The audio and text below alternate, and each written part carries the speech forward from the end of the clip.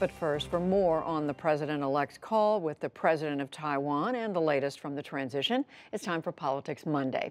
Joining us are Amy Walter of the Cook Political Report Karen Tumulty of the Washington Post, and Geoff Dyer. He's diplomatic correspondent for the Financial Times. He served as the paper's Beijing bureau chief, and he broke the story of Mr. Trump's call with the Taiwanese leader.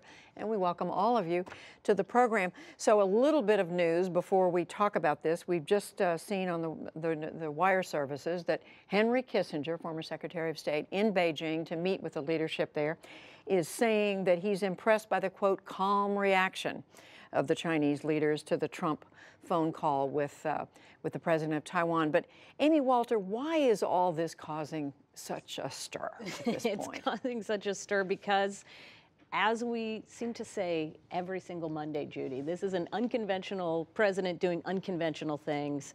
And this is not something that the traditional establishment would see as a good idea uh, to do especially when there's not necessarily a policy behind it. And I think that Tony Blair raised this issue too. We don't really know what this actually means. The call in and of itself, as Henry Kissinger said, hasn't created some tremendous trouble in China. But what we don't know is whether this is just posturing or whether this is a policy change. And we've heard from the Trump transition both sides. One side says, no, this is not. The vice president, for example, went on television. Kellyanne Conway who was his campaign manager, went on television this weekend, and said this was a just a courtesy call. There's no change in policy. We're reading other accounts today that suggest that this is about a change in policy. The president elect had been very tough on China during the campaign. We're going to see a more aggressive uh, Trump uh, administration in dealing with China, but we don't have an answer for that yet. And that's why I think there's all the consternation going around. Geoff Dyer, how much of this was planned and how much of it is, uh, is just happenstance on the part of Mr. Trump? Um, which we just heard, it's very hard to tell, actually. I mean, as Mike Pence came out and said this was the courtesy call, which would seem that it was just a, a, small gesture that they're planning to do.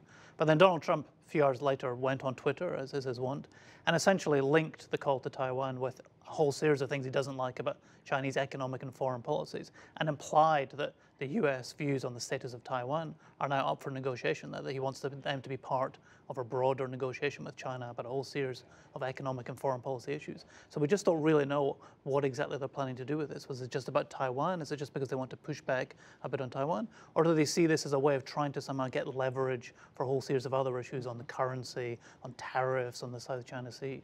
It's, Karen, it's unclear excuse me, Karen Tumulty, read the tea leaves a little bit more. What do you see? Well, I think that Donald Trump, how many times during the campaign did he tell us that his plan for dealing with foreign policy was to be unpredictable? Well, there we have it. Um, I think that increasingly the evidence does look like this was not just a casual. I mean, world leaders don't just pick up the phone and, and call each other. It was. It does appear that there, this was a deliberate move, a deliberately provocative move, and it seems very much in line with his rhetoric during the campaign that, that he intended to be tough on China. And don't forget, We've seen a lot of presidential candidates, uh, memorably Bill Clinton, who used to criticize George Herbert Walker Bush for coddling dictators and then takes a much softer line with China once he's in office. Um, I think Donald Trump is signaling that that, that is not going to be his, his way of doing business. And Amy Walter, it plays into the other phone calls that were reported from overseas, the calls, for example, with the Prime Minister of Pakistan, where he was apparently overly complimentary, in the words of one uh, observer who seemed to know about it, and the broadening search, apparently now for a Secretary of State. Is this all, I mean, how are we to understand what's well, happening the, right the other thing that, that the Vice President-elect said over the weekend is, look, you're going to know about our policy once we are in office. That what's happening right now in the transition shouldn't be read too deeply into. There are a lot of these calls that we're taking. He's reaching out to a lot of folks. Look, if you watch the Trump cam that's that is uh, positioned in the Trump Tower, watching people go up and down the escalator, you saw one of those yes. in there today was Al Gore. Yes. Right? Lots of people coming in and out, not necessarily uh, indicative of what his policy is going to be. To have Al Gore one day and the next day the head of ExxonMobil, uh, what is that? What are you supposed to read into that about his stance on climate change? So, I think again, it's going to be that the actions that he takes are significant. And I know we're going to get to this in a second, but the people that he's putting around him on the cabinet suggest that he's putting together a very conservative, almost traditionally conservative Republican uh, group around him. And, uh, Geoff Dyer, before we leave foreign policy, how are the folks in foreign capitals reading all this when they see the call with the president of Taiwan, when they read about these other conversations and this ongoing Secretary of State search? We had this whole discussion during the campaign and after the election about whether would take Trump literally or seriously. Yeah. In foreign countries, when they see what he's saying on, on Twitter since the election and seeing what he's saying in these calls with foreign leaders, they take everything very seriously and they take everything very literally. So foreign governments are going to be pouring through all these tweets looking for to, to try and discern what it means for foreign policy.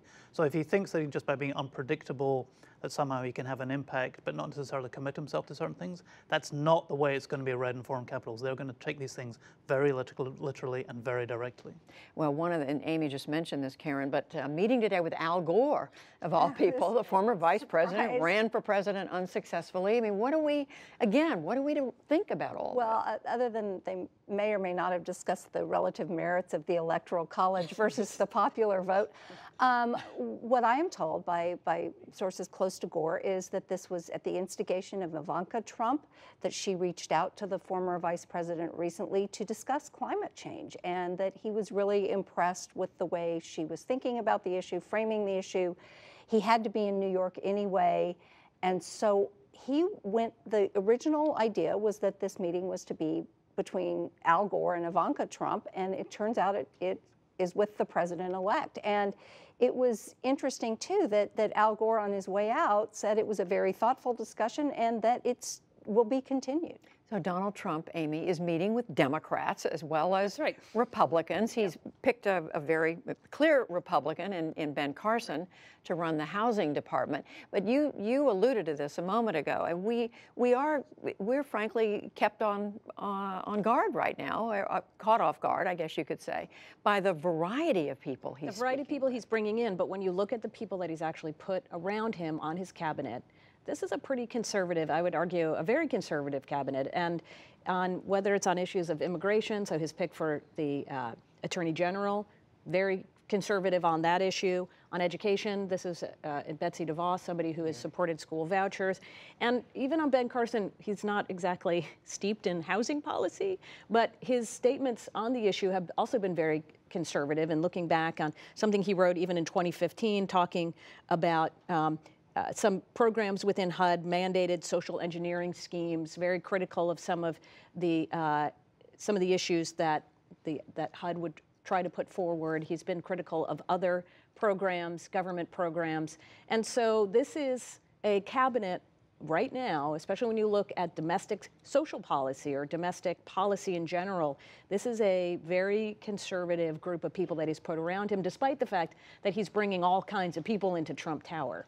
Right, and, and just pick again, again on the I, the, I posed the question to you a minute ago, Geoff Dyer, about the, the array of people he's talking to about Secretary of State, from Rudy Giuliani to, uh, to today or yesterday, we learned about Rex Tillerson, who's the head of a big oil company, Exxon Mobil. Again, if you're a foreign uh, government, are you seeing this as a, as a typical process for choosing uh, somebody in that position? It's not typical that it's been done so publicly and they have to turn up for these auditions at Trump Tower, but it's a perfectly respectable thing for him to, to cast a wide net, to talk to a lot of people. And most of the, the people he is, he is thinking about are very serious individuals. They're perfectly credible candidates. The thing that strikes me from looking at the names so far in the, in the cabinet on the foreign policy side is the one thing that unites them uh, General Mattis at the Pentagon, Mike Pompeo at the CIA, even Mitt Romney if he becomes Secretary of State, they're all very, very hawkish on Iran. That's the one thing that you can say about the, the new cabinet that Donald Trump is putting together. That seems to be one of the coherent themes. They're very, very skeptical about Iran. And quick, finally, to Karen, more names coming up for Secretary of State, we think? Well, we are, we've heard today, what, Jon Huntsman, the former, uh, Barack Obama's former ambassador to China, far more moderate figure than, at least politically, than we've seen. Although, again, very very much in agreement with a lot of what Donald Trump has to say on China. Uh, the other thing is that Trump does not seem to feel in a great hurry to make this decision. Um, no, he doesn't. he seems to both be uh, enjoying the drama, enjoying the suspense, but also willing to let this kind of play out. Karen Tumulty, Amy Walter, Geoff Dyer, thank you all. Thank you.